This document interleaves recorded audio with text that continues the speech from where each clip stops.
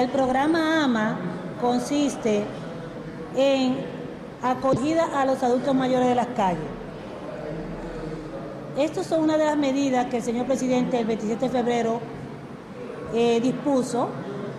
para reubicar los abuelos que están en las calles abandonados.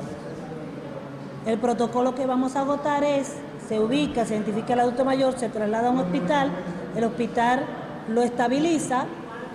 y luego entonces ese abuelo o abuela es trasladado al centro en San Cristóbal